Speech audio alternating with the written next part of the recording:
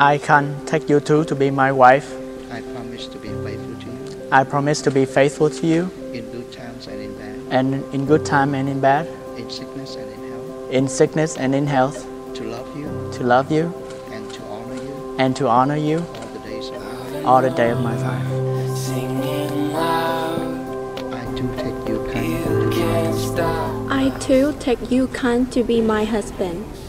Stop. I Tu take you Khanh to be my husband. I promise to be faithful to you. I promise to be faithful to you. In good times and in bad, in good time and in bad, in sickness and in health, in sickness and in health, to love you. To love you. And to honor you. And to honor you. All the days of my life. all the day of my life. All